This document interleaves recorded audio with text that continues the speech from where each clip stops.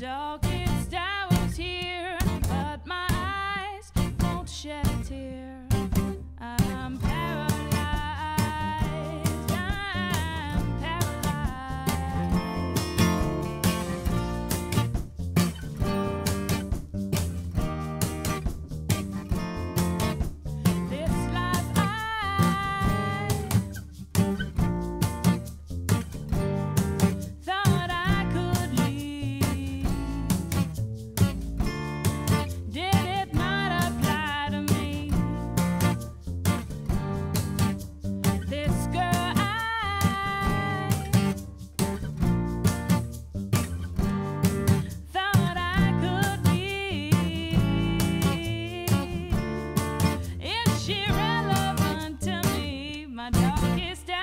hours